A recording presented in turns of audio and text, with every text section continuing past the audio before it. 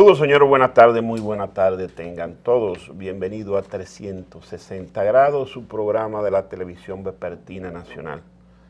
Qué bueno compartir la jornada de este día con todos ustedes.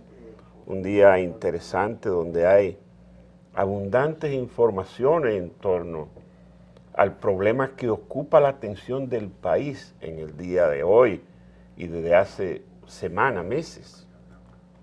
Se trata de que este miércoles ha terminado el programa de regulación de extranjeros ilegales en la República Dominicana, un programa interesante que durante 18 meses eh, estuvo ahí dando servicio en cerca de 30 eh, estaciones, comenzando por las 32 gobernaciones provinciales, más en la ciudad de Grande se añadieron otras estaciones para darle el servicio a los indocumentados. De esos 18 meses, alrededor de 15, 16, esas estaciones estuvieron vacías apenas uno y a veces ninguno acudía con su papel, con parte de los papeles y se inscribía. Pero en los últimos 30, 60, 90 días, eso ha ido, fue creciendo bárbaramente hasta que se convirtió en un problema de orden público, porque los indocumentados, en su mayoría haitianos, se aglomeraron en busca de ser beneficiado por el plan de regulación, que es gratuito, o fue gratuito. No se pudo. Apenas se, atendieron unas 250 mil personas. El 98% de ellos haitianos. Y de esa cantidad de los haitianos, 90 mil fueron atendidos con su pasaporte unos 60 mil con sus actas de nacimiento. Pero en definitiva, la mayoría no presentaba la documentación completa. Apenas un 6-8% presentó toda la documentación y esa gente recibió su carnet de residencia temporal o permanente, lo que fuera. La, gran mayoría se quedó pendiente de recibir una respuesta del Ministerio de Interior porque le faltaba alguna documentación y se le da un plazo de 45 días para que lo presente. De todas maneras, hubo en la víspera y reiteradas ocasiones, tanto el Ministerio de Relaciones Exteriores como el Ministerio de Interior y Policía y la Dirección General de Migración, estuvieron diciendo y repitiendo que no iba a haber prórroga.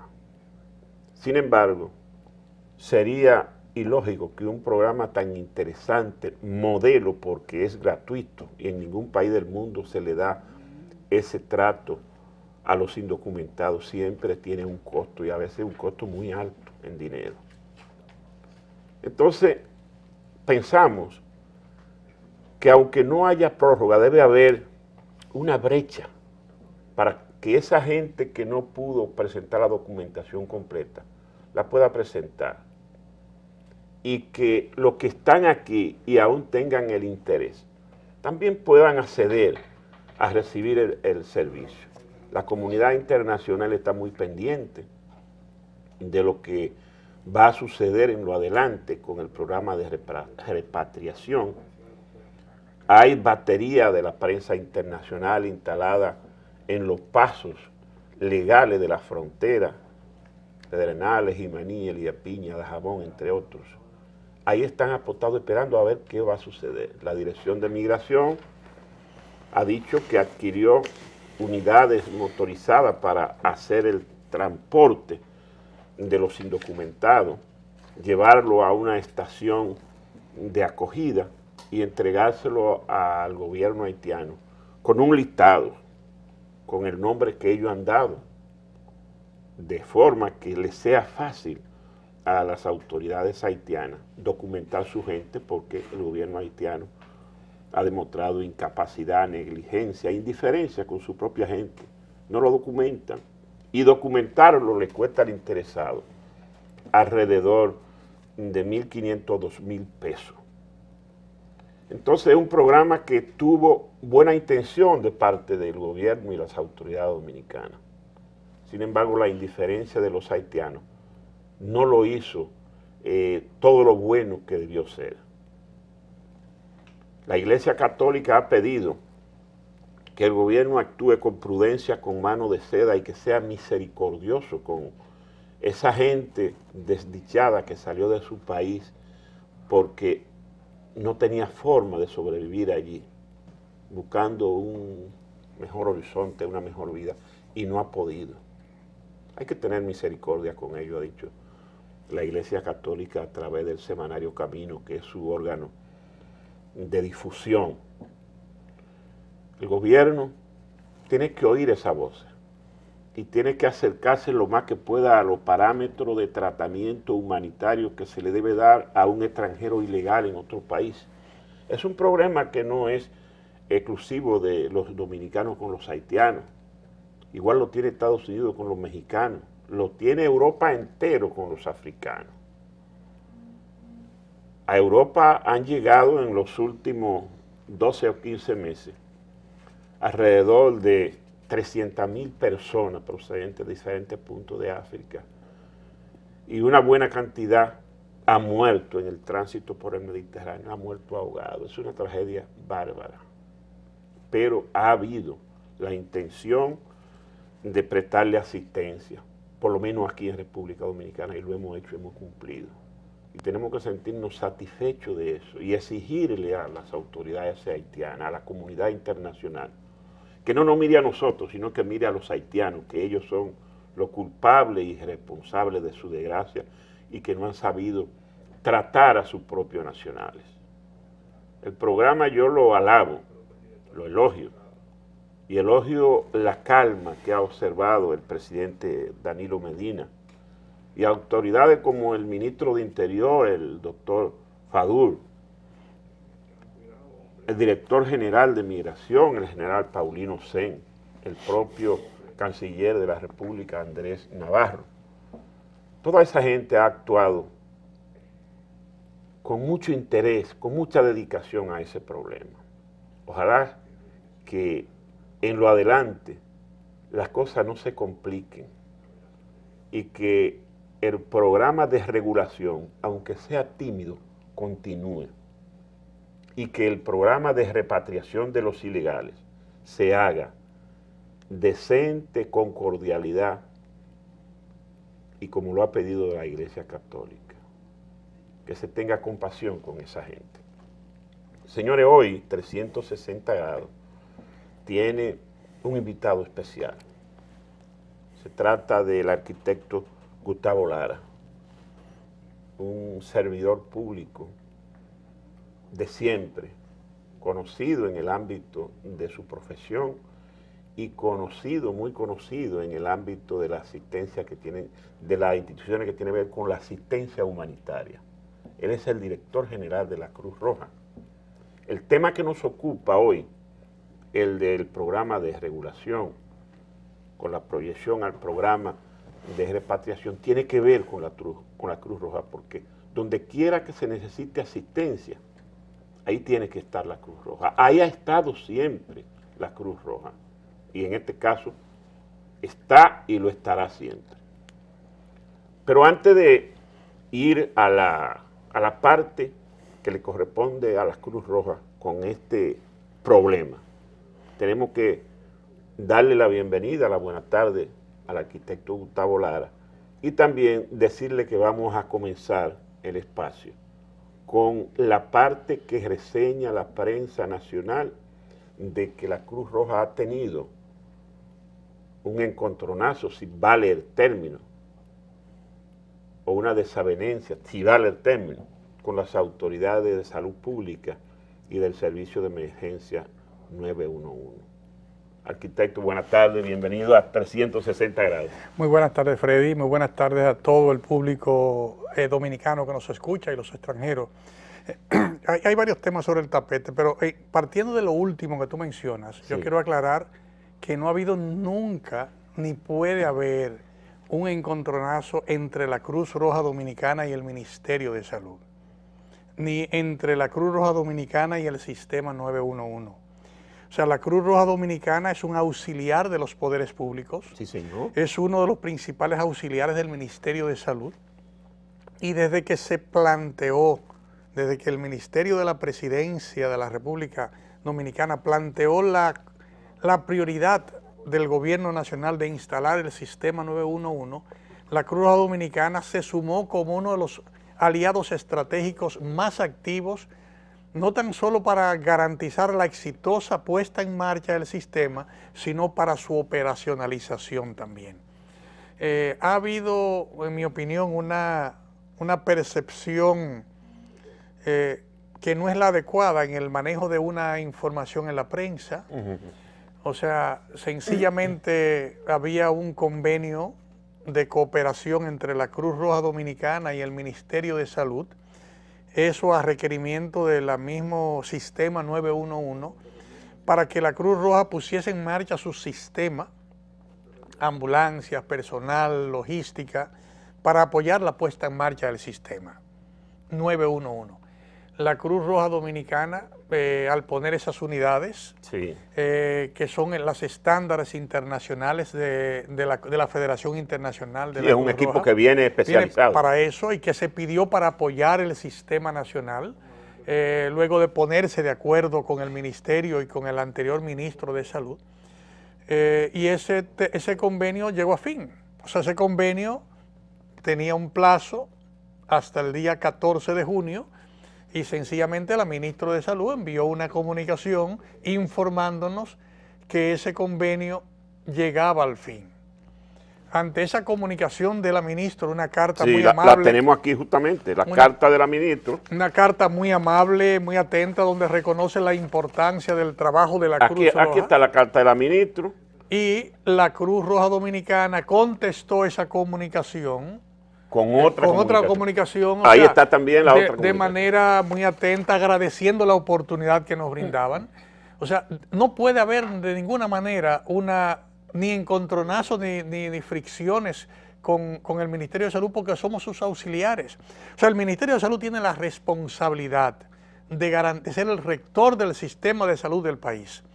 El gobierno tiene la responsabilidad de brindar la protección a la población como lo establece la Constitución. y lo que hacemos nosotros como Cruz Roja es contribuir con ambos niveles o con todos los niveles del Estado para que se pueda cumplir adecuadamente con esa misión humanitaria.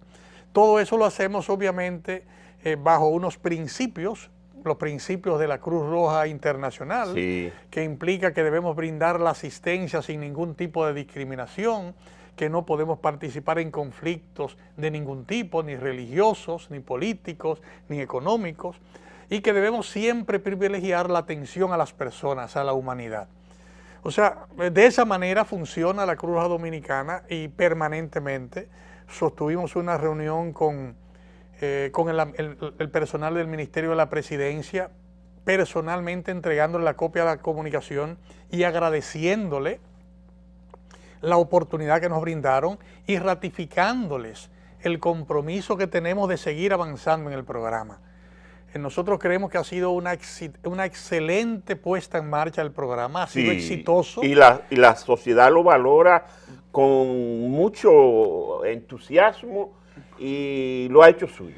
Y nosotros, por ejemplo, nos sentimos satisfechos de haber contribuido con eso. No es un programa de la Cruz Roja, somos, hemos colaborado con el Ministerio de Salud y con el sistema. Eh, le hemos planteado que podemos contribuir con eh, eh, extender ese programa a todas las rutas de la carretera para tratar de garantizar la seguridad vial apoyando el programa que tiene el Ministerio de Obras Públicas. Tenemos unidades para hacer eso. le hemos planteado que podemos contribuir a expandir el programa en otras provincias del país, fuera de la zona metropolitana, que fue, fue el área piloto seleccionada. O sea, estamos en conversación con, el Ministerio de la Presidencia, eh, con el personal de salud, con el personal del Sistema 911, poniendo en marcha los equipos que tenemos y el personal.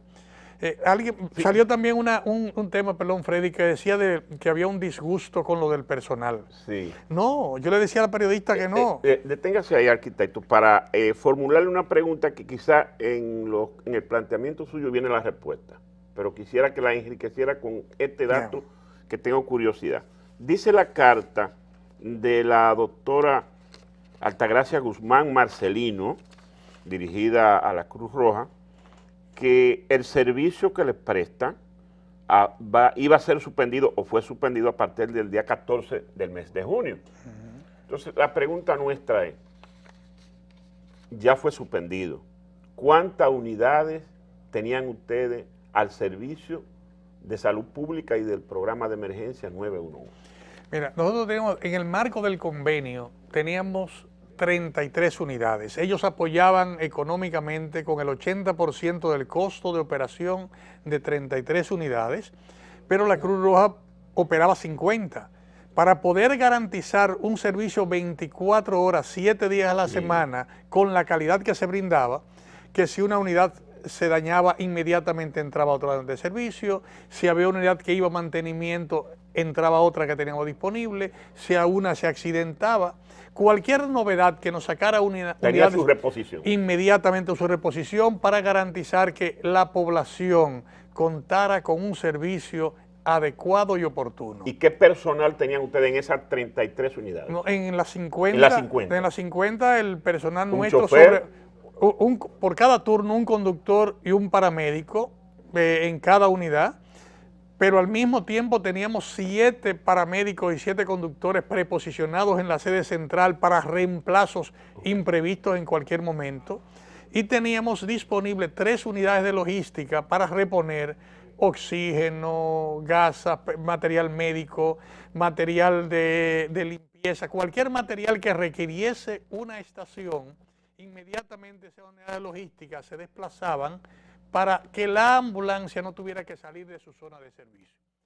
O sea, todo ese sistema puesto en marcha, eh, eh, eh, discutido con el Sistema Nacional 911, con el apoyo y la asesoría de la organización Oficina Panamericana de la Salud y del Ministerio de Salud, porque fue un trabajo conjunto, es lo que ha facilitado el éxito de ese programa. Ahora, para lograr eso, obviamente se suman voluntades, ese es el compromiso de la Cruz Roja Dominicana de apoyar, la voluntad del gobierno dominicano de poner en marcha ese importante sistema y programa de asistencia prehospitalaria para garantizar la asistencia como un derecho.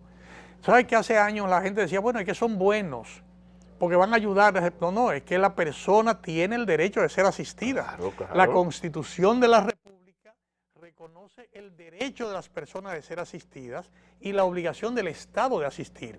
Entonces, cuando el presidente y su equipo deciden poner en marcha ese sistema, es en reconocimiento de la importancia de ese derecho y de esa obligación, y nosotros como auxiliar de los poderes públicos, independientemente de que la Cruz Roja es una institución de derecho privado, eh, como lo consigna su, eh, la ley 4198 que le da su personería jurídica, esa misma ley establece que es auxiliar de todos los poderes públicos.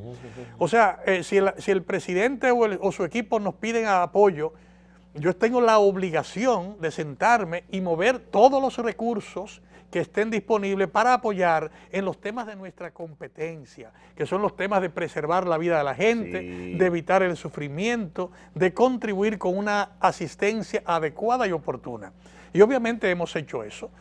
debo reiterar de nuevo que estamos altamente complacidos por la atención, por el trato eh, recibido y por la oportunidad de dar ese servicio. Sin embargo, arquitecto, la información que ofrece el periódico El Caribe de que ha habido esa ruptura en el servicio que le daba la Cruz Roja a Salud Pública y al programa de emergencia 911, tiene otro componente que es que Salud Pública le está contratando el personal que utilizó Salud le está quitando el personal. Bueno, lo que pues, yo entiendo que esa es una interpretación eh, que hace muy bien la, periodista desde el punto, ustedes los periodistas buscan qué es lo que llama la atención, ¿no? Entonces, pero yo quiero que el, el, público que nos escuche entienda que el aportar el personal calificado si el, la ministra de Salud nos dice que quiere 100 personas del personal más calificado de la Cruz Dominicana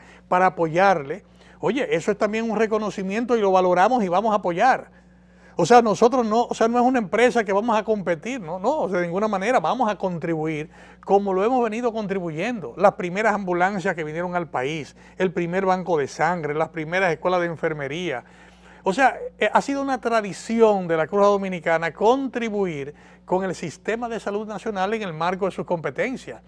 Tenemos la ventaja de ser parte de la más importante red global mundial de asistencia humanitaria y contamos con la asesoría y con el apoyo de todos esos equipos y eso obviamente está al servicio del país. ¿Pero le han llevado a algún personal? No, no, hay servicio y hay, ha habido llamados de personal, pero si, es más fácil si me llaman a mí una carta, mira, queremos una contigo porque nos hacen falta eh, 20 choferes y 20 socorristas. Todo. Oye, los invito a que. Que lo, o, que lo ayuden a capacitar ese Pero vamos a seguir entrenando porque hemos entrenado mucho de los que trabajan en salud pública Muchos, muchos han pasado por, en algún momento por la cruz y han sido entrenados. Y otros van a seguir pasando y van a seguir entrenando porque hay una cantidad enorme de médicos y de paramédicos que se entrenan. La, única diferencia es que, salud, que la Cruz Roja es un servicio voluntario, no es un servicio pagado. Bien, pero por ejemplo, para el servicio en, en este servicio que se obligaba a un trabajo 24 horas con un tiempo, eh, optamos por una, por una versión donde le pagamos a ese personal. O sea, ese personal que está en las ambulancias eh, y que estamos preparando para que sean técnicos en emergencias médicas, que tiene que tener una currícula de tres años y con práctica. Como tienen gastos de desplazamiento y gastos de eso, le estamos contribuyendo económicamente eh, como si fuera un salario prácticamente. Pero es una contribución para que puedan comprometerse con su tiempo y continuar con su proceso de formación. O sea, el aporte de la Cruz Roja Dominicana más importante que las ambulancias es el personal. O sea, que salud pública requiera... Porque es un personal especializado. Perfecto. El que salud pública requiera nuestro personal de ninguna manera nos puede disgustar. O sea, el que requiera nuestro personal es una satisfacción porque nos permite brindarle la asistencia que el ministerio requiere y al mismo tiempo eh, satisfacer una demanda de servicio en los estudiantes que estamos preparando. Lo que con el comentario que lo decía, que ella, me, preguntaba la periodista, bueno, pero eh, eso no es ético. Digo, bueno, eso, eso habría que preguntarle al ministerio, pero para mí, para mí sería mucho más práctico enviarme una comunicación solicitándonos ese apoyo y nosotros de manera automática lo vamos a poner. Porque a fin de cuentas las ambulancias, el personal, todos los recursos con los que cuenta la Cruz Roja Dominicana, estemos dentro del programa o estemos fuera, siempre van a estar al servicio y a la disposición del Ministerio de Salud, del Ministerio de Medio Ambiente, del Ministerio de la Protección, porque la Cruz Roja es auxiliar. Ese es su trabajo. Ese es su trabajo, ese es el auxiliar. Ahora, arquitecto, ¿Tiene usted información concreta de que el vacío que dejaron esas 50 unidades que retiró la Cruz Roja ya fue cubierto? Bueno, yo supongo que sí, porque el Ministerio recibió unidades nuevas. Ah, bueno. Recibió unidades nuevas. La razón de, hacer el reemplazo en principio es porque ya recibió unidades nuevas que el Ministerio adquirió. Eh, y nosotros, estamos conscientes porque desde que discutimos el tema, entró la Cruz Roja porque el ministerio no tenía unidades en ese momento. Ahora, lo que le planteamos al Ministerio de la Presidencia y al sistema de los nuevos 1.1 y que no pudimos plantearle a la ministra porque no hemos tenido la oportunidad de tener una reunión con ella, era que las unidades que tenemos son de ella, o sea, las unidades que tiene la Cruz son de salud pública y son del Ministerio de la Presidencia, ¿Y de, son de, los ayuntamientos. O sea, que si esas unidades, si el país necesita asistencia en la carretera, ella cuenta con esas unidades. Que si las, el pueblo de San Cristóbal, el pueblo de Baní, o el pueblo de Barahona, o el pueblo de Elias Piña, o el pueblo de Santiago necesita poner en marcha ese sistema, porque tienen el mismo derecho que, tienen, lo, que tenemos los que vivimos en la ciudad de Santo Domingo, pues ni hablar. Tiene esas unidades a su disposición cuando entienda que sea oportuno. Ahora, obviamente, el rector del Sistema Nacional de Salud es el Ministerio de Salud y es el que tiene que decir cuándo y cómo lo pone en marcha. Eh, la autoridad competente que tiene en sus manos poner en marcha es el Ministerio de la Presidencia y es quien debe decirlo.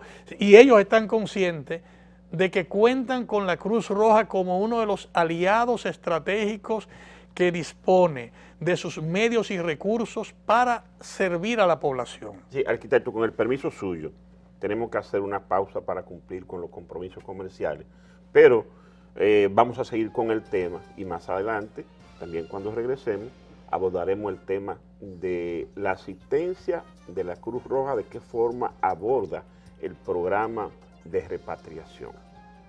Ya regresamos.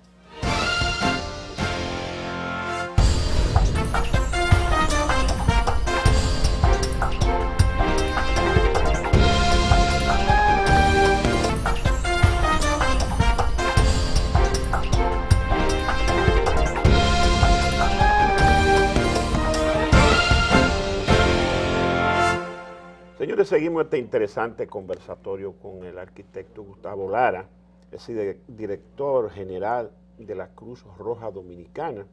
Justo habíamos quedado en el segmento anterior de abordar el tema de problema que representa el programa de repatriación y los últimos días del programa de regulación de extranjeros.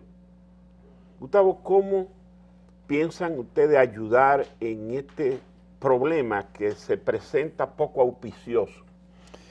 Mira, lo primero, Freddy, es que nosotros estamos ayudando ahora tratando de prevenir y aliviar el sufrimiento humano de las personas que están y han estado trabajando en, las filas y en los centros de, de captación de datos, de información porque eh, lo que recoge la prensa, que es lo que estamos viendo, la multitud, esa multitud con angustia, con ansiedad, con mucho sol, temperaturas altísimas en el país, sin condiciones higiénicas adecuadas, eso obviamente pintaba múltiples problemas. Eso nos permitió sentarnos con la Embajada de Haití, por ejemplo, y acordar con ellos darle apoyo a la población poniendo carpas o poniendo personal de nuestro equipo de agua y saneamiento para garantizar el agua potable a la población. Hicimos coordinaciones con el Ayuntamiento de Santo Domingo, eh, con el mismo Ministerio de Salud para garantizar el saneamiento de la zona. Todo es orientado a preservar la vida y la dignidad de esa persona, eh, pensando eh, oye, como seres humanos, igual que los dominicanos en otros sitios pueden estar expuestos a situaciones similares. Cierto. Entonces, todo el que se mueve en el proceso migratorio, que es tan viejo como la misma humanidad, se mueve por las expectativas. Si donde vive no tiene posibilidades o ve que, o ve que tiene mejores al lado, se moviliza al lado. Y creemos que esa es la expectativa que no la inventamos nosotros, viene tan viejo como la misma humanidad. En el caso de la población migratoria, eh, desde el punto de vista humanitario, nosotros hemos planteado a las autoridades nacionales, a las autoridades nacionales de Haití también, y a los organismos internacionales, que ese, ese tema debemos abocarlo en conjunto, pensando que no hay una solución definitiva si no hay una contribución con el desarrollo sostenible de Haití. Mientras Dominicana sea un pueblo desarrollado con luces y Haití no lo sea, el haitiano va a mirar hacia Dominicana y va a migrar. Entonces, tú puedes tomarme 100 mil personas haitianos que viven en el país ahora y lo llevas a Haití. Lo pones en la frontera y esa misma noche van a dar la vuelta y van a volver. Porque si no tienen expectativas, allá van a volver. Entonces, eso nos obliga a sentarnos en la mesa y pensar a más largo plazo. Como Cruz Roja Dominicana, tenemos un convenio de cooperación con la Cruz Roja Haitiana desde hace 10 años y venimos trabajando en promover una cooperación de pares. Creemos que así como colabora la Cruz Roja Dominicana con la haitiana, debe medio ambiente con medio ambiente haitiano, deportes dominicanos con deporte haitiano, el, canciller dominicano con el haitiano, el presidente dominicano con el presidente haitiano, de tal manera que podamos juntos contribuir con temas claves del desarrollo y temas claves de la salud, sin descuidar nuestras propias responsabilidades, porque la responsabilidad nuestra es el país. Tú ves cómo vemos el tema del país. Pero si nosotros no atendemos adecuadamente esa relación y bajamos los riesgos en Haití, en una isla que es la que nos une en un solo ecosistema, vamos a tener siempre las afectaciones. Entonces la solución, en mi opinión personal, no está en comenzar a repatriar personas. Yo creo, y, aprovecho la oportunidad de tu espacio, para hacer una solicitud formal al señor presidente de la República, para que entienda que el programa de, regularización es un programa bonito, exitoso, como tú decías. Sí, sí, es un programa que ha comenzado, se han salvado escollos, ya me consta que la Embajada Haitiana está emitiendo documentos provisionales a todos los ciudadanos haitianos, que eso se puede cumplir rápidamente y que tanto Haití como Dominicana necesitamos saber que todo el que está aquí, dónde está, cómo se llama, qué hace, para poder hacer nosotros la planificación estratégica de nuestro país y para Haití también poder planificar las obras de desarrollo que les va a permitir eh, albergar de nuevo a su población. Entonces yo creo que, que conviene hacer una proposición, que ese drama, bajar la angustia de esa gente, dar un plazo, dar un plazo para que se pueda hacer pero ese plazo no puede ser sencillamente un plazo. Yo creo que hay, que hay que poner en marcha dos o tres cosas y voy a hacer una sugerencia. La primera sugerencia es que se den turnos, que digamos cojamos una semana para que todo aquel que no ha sido, no ha entregado documentación, seleccione sencillamente un turno para un turno con fecha, es una cita. O sea, si digamos que el local puede atender a mil personas, da 80, 800 turnos por día. Después que se llenaron los turnos del día 20, ya no da más, ya los del 21, después del 22, de, tal, de tal manera que cada día vayan las Una cantidad de personas limitadas que son las que se puede atender. Si hacemos eso en los, todos los centros que tú mencionaste que tenemos, más de 40 puntos en el, en el país, si hacemos eso en corto tiempo, podemos sin ningún tipo de aglomeración, sin ningún tipo de imagen negativa para el país, porque cuando las imágenes recogen a militares eh, protegiendo y empujando A, esas personas, o cuando una persona se desmaya y no recibe atención, es un descrédito para el país, porque lo que se vende es otra cosa. Entonces, yo creo que si lo hacemos de esa manera, vamos a salvar de manera civilizada la imagen del país y vamos a poder entrar en el proceso de que todo el mundo entregue su documentación que todos aquellos que califiquen para el programa sean regularizados y los que no automáticamente vuelvan a su país. Eh, Gustavo, ustedes tienen programado eh, tener presencia de unidades y personal entrenado para la asistencia en los llamados centros de acogida que ha dicho la Dirección General de Migración que va a tener de este lado y los centros de refugiados que va a tener la autoridad haitiana de aquel lado? Mira, si los hubiera, la Cruz Roja Dominicana va a estar ahí brindando la asistencia a la población. Nosotros nos hemos reunido con las autoridades nacionales, tanto del lado haitiano como dominicano, la Cruz Roja en sentido general. Nosotros tenemos el, programa de restablecimiento de, de contactos familiares más efectivo que hay en el mundo que permitiría mantener familias separadas, mantener la comunicación. Eso eh, es, una competencia de la Cruz Roja.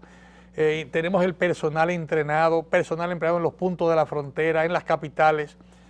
Tenemos los medios para apoyar. Ahora, yo vuelvo a insistir con el señor presidente en la solicitud, por una razón. Todos vivimos y vimos los campamentos que se desarrollaron en Puerto Príncipe, en Champ de Mars, en, en Cité Soleil, en, la, en el aeropuerto. vimos el drama de esos campamentos. Cuando el terremoto. Cuando el terremoto. Sí. Ese, eso de drama se repetiría en la frontera dominicana del lado haitiano.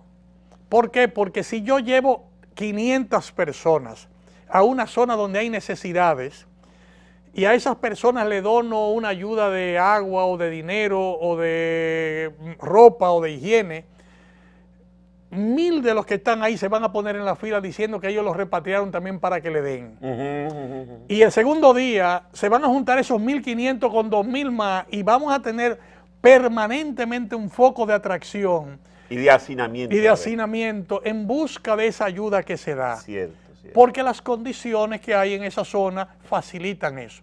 Entonces, lo que la prensa internacional va a recoger, si ve eso, es que la, República Dominicana ha expulsado y está maltratando a esa población. No va a recoger la solidaridad que hay en República Dominicana, el esfuerzo que hace el Estado Dominicano y que ha hecho el Estado Dominicano desde el terremoto para acá, para contribuir, y más desde antes. Yo debo decirte que en el 2007 participé en una comisión que el presidente Leonel Fernández envió a Haití para ofrecer ayuda al presidente Preval a raíz de, las inundaciones en Gonaib. Y desde esa época, y mucho antes, el presidente Mejía había ofrecido apoyo para hacer las evacuaciones en Puerto Príncipe cuando la caída de Aristide. Uh -huh, uh -huh. O sea, hay, un, hay una larga data de práctica sí, sí, sí. de todos los gobiernos y de, de todos los dominicanos que llega a su máxima expresión en el terremoto. Ahora, si todo eso que hemos hecho también de contribuir y trabajar hermanadamente con nuestro hermano pueblo de Haití, lo destruimos porque hay gente que quiere. O sea, hay gente que quiere que se hagan esos campamentos allá porque alguien va a aportar millones de dólares para mantenerlos.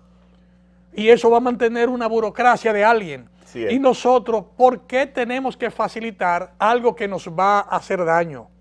Si eso nos va a hacer daño a nosotros con la imagen del país, un país que va bien en su desarrollo turístico, un país que está bien posicionado como un país civilizado que respeta derechos, un país que tiene organizaciones sólidas que garantizan la asistencia, solamente lo resolvemos con que haya una decisión del presidente de decir, bueno, en vista de eso vamos a posponer hasta completar el proceso de regularización y que una vez el proceso de regularización se haga, se haga lo que haya que hacer, pero sin tumultos, sin, sin presiones y sin agresiones. Qué bueno. Yo creo que la, como Cruz Amiga estamos apoyando en esa dirección, estamos apoyando en la asistencia. Si hubiese una situación difícil, también estaremos ahí apoyando, pero confiamos en la, en el compromiso del señor presidente de la República, en, su, sus buenas intenciones, en el compromiso de preservar el desarrollo sostenible del país. Gustavo, ha sido un bonito y gran planteamiento que ayuda y da luces para resolver esa problemática.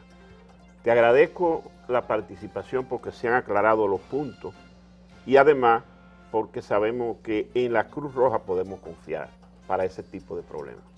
Gracias por venir. Gracias, Freddy. A ustedes las gracias por acompañarnos en 360 grados. Les esperamos mañana.